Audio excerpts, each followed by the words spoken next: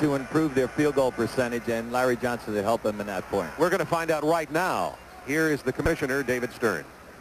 With the first pick in the 1991 NBA draft, the Charlotte Hornets select Larry Johnson from University of Nevada, Las Vegas.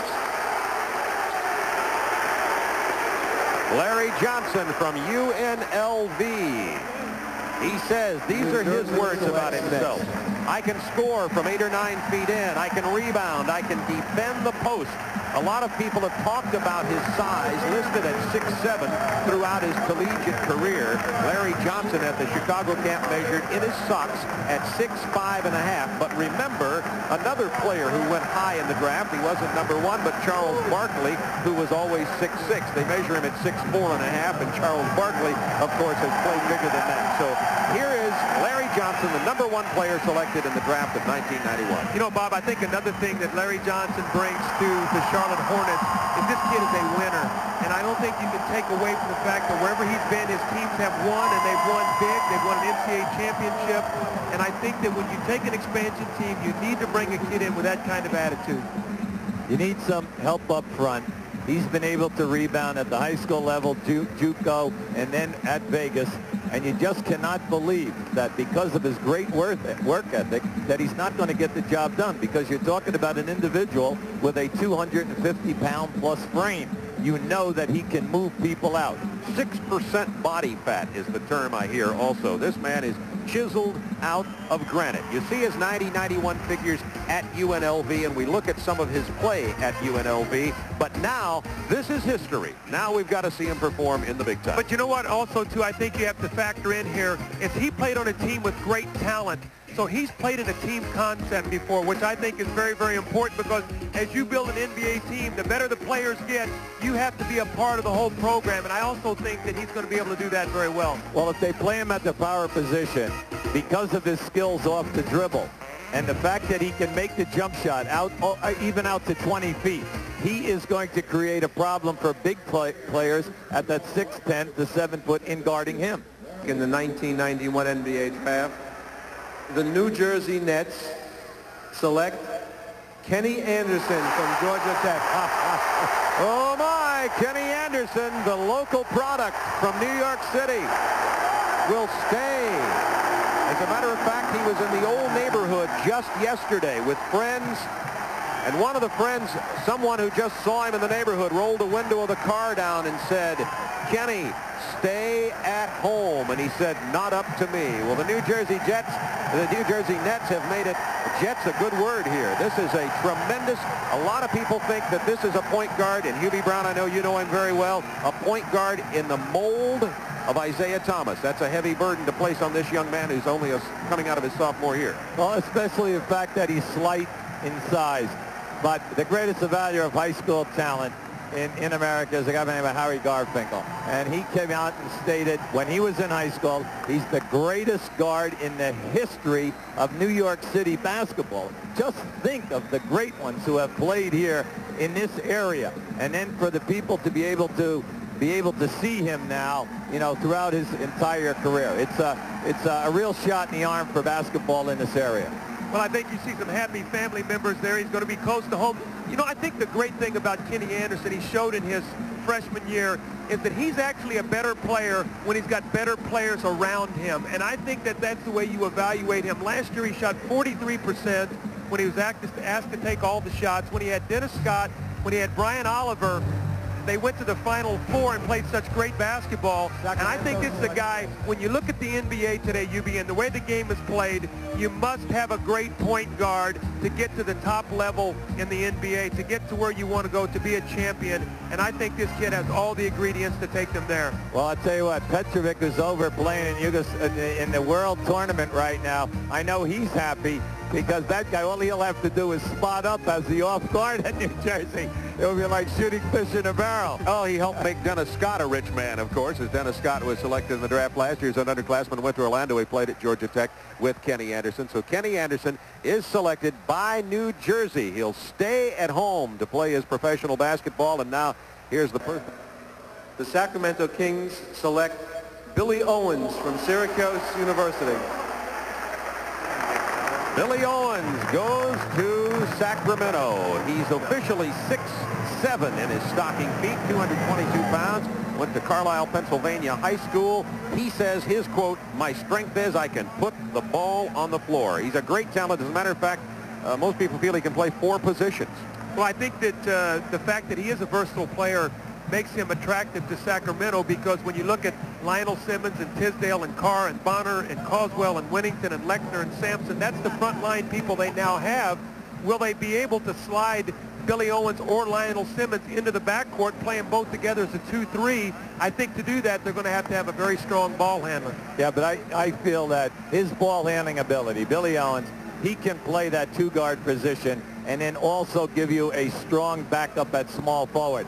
He handles the ball extremely well. Uh, a real winner at the high school level in Pennsylvania, did an outstanding job at Syracuse, and he can do it all. Plus, in Dick Motta's style of play, you can post him up as that second guard and then improve your rebounding, which they are the worst team in the league in rebounding. So you're not only going to get a guard that can board for you, but also hit the offensive board. Hubie, I think the question is, can Travis Mays slide over and play any point guard for them? Because right now they still have a big need for a point guard to run that ball club. Well, they also have a surplus of guys who can score up front in regards with Tisdale and Carr. So we, we could possibly see some trades after this draft. 91 NBA draft. The Denver Nuggets select Dikembe Mutombo from Georgetown University. 7'1", 230 pounds. Went to Institute Boboto in Kinshasa, Zaire for high school. He's 25 years old. Very high IQ young man, very intelligent, not just not just a man who's smart and aware in basketball sense, but speaks five languages and has said all along that basketball is obviously a career where he hopes to make a lot of money and now is being insured of that, but also hopes to use it to develop a business career later. His native language was uh, French. I understand that he's even uh, a good cook. well, now, you know, you, you look at their front line right now. Uh, if they keep Blair at that center position, you have two big people up front because this young man going up the stairs could play big forward for you just as well as the center position. And that would give you uh, two people who could rebound and then also people who could play on the boxes and the power game. Now, you know, we're not the general managers. and we're not telling them what to do here. But, but if you are going to start and you are going to make a run at the playoffs, you must defend. And this is the best place to start. Kembe Mutombo, you see him playing on the inside, the physical strength, number 55 for Georgetown. How quickly does Mutombo help Denver? How much impact will he have on the Denver Nuggets early in the season in 1991? Well, you know, first of all, you look at him, he's a, he's a kid that can run. He has great stamina. He's going to be able to give him 36 minutes a night, you know, at that position. He's a wiry kind of player. He backs off of you. He can block shots. He's not the kind of guy that's going to pound on you all night long. And the style of ball they play, changing ends of the floor, he's going to pick up points by being able to get out and outrun the opposing centers in the uh, in the transition game. Okay. The Miami Heat selects Steve Smith from Michigan State University. Steve Smith is the two guard, 6'6", 200 pounds. He can also play some point guard positions, very good athletic skills. He can drive to the basket, good range, a tremendous talent. Well, I think Billy Cunningham feels like this kid has star quality written on him. You think now Steve Smith, you think Willie Burton, you think of Glen Rice, you think of Rony Seikaly, some of the guys now, the athletes they can throw out on the floor. Uh, I like what they're doing down in Miami. I think a lot of people felt their need was in power forward with Doug Smith. I think that this uh, this kid right here has an opportunity to be a star in this league. The fact that he is such an outstanding shooter with range is another major plus. Uh, Miami plays extremely hard. They're very talented, but they would lose so many close ball games, especially games on the road. The reason being they're one of the lower field goal percentage teams in the league at 46%. This guy, he can get to where he wants to go with his size. He can also rebound for you as a, as a, a big guard, And then the fact that he is such an outstanding shooter and he gets fouled a lot and he can make the foul shots. Nothing but a major plus for Miami. Steve Smith from Michigan State University. He went to high school at Pershing in Detroit, Michigan. And uh, as we pointed out, he's been an All-American. He can certainly stick it from outside, averaged 18 and a half points for his career. A Wooden Award finalist, and he goes to the Miami Heat. 223. Now what he is is, some scouts say he is a small, he's a, he's a guy that everyone wants to play big forward, but he has a small forward's body. But he can get the job done for you.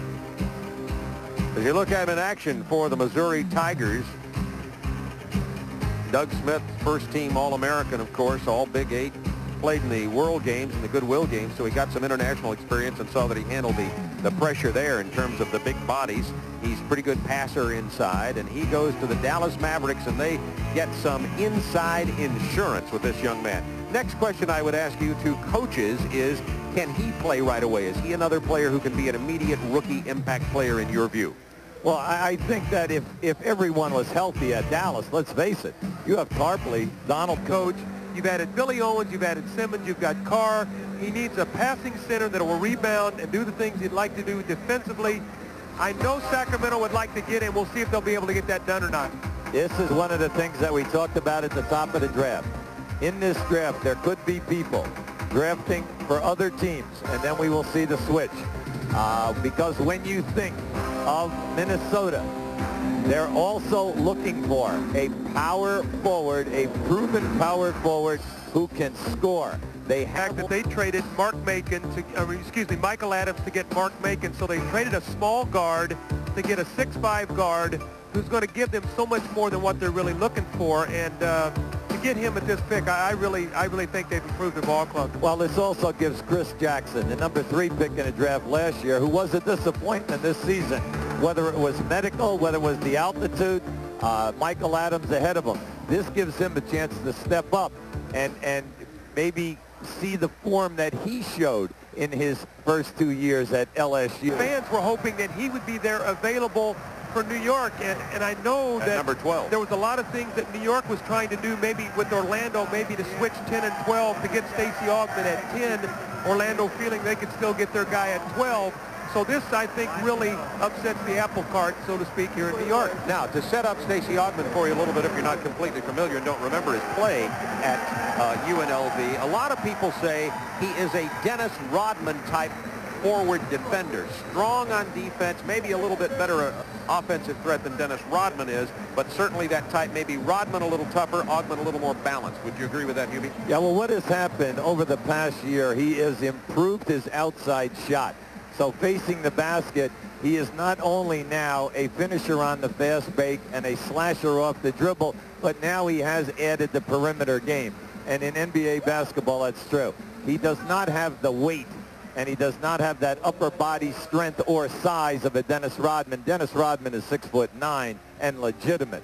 He's an opportunity to, to go in and play defensively as a two and as a three his three-point range in college this year shot 47% from the three-point line, so he has improved his shot. The one thing you know you're going to get from him is he's going to come out and he's going to run the floor, he's going to defend. And again, you know, Hubie, you coach, and I had an opportunity to coach you can't say enough about taking a young man who's been in a winning program because you take guys who were loose in college and it's very difficult to bring them in and expect them to help turn around. One thing that, that you have to have when you have a low post game is you have to have perimeter shooting. And when. Mark Price went down, you did not have to guard Cleveland on the perimeter. They could not score. This kid will give them spacing on the floor to allow Nance, Hot Rod Williams, Brad Daugherty now to establish the low post game that they had when they won 57 ball games. Well, Lenny likes to play that medium pace type of a tempo there at Cleveland and everything functions on you being able to knock in that 20 to 20 foot jump shot, 20 to 21 foot shot. If not, if you have three-point range, now you are a major asset. This young man is blessed with great perimeter shooting ability. Terrell Brandon, a junior undergraduate, early entry selected by the Cleveland High. Now, when you look at Anthony's game, he can run the break and he makes excellent decisions in the open floor. You must play him because he has range and then he can beat you off the dribble and either score or deliver the pass. Well, Greg Anthony also knows how to play to the crowd, as you saw him doing that, and now holding up the New York Knicks jacket as he joins the New York Knickerbockers. Pat Riley will be his head coach. He'll join Patrick Ewing. We'll come back to talk more about the 1991 NBA Draft right after this.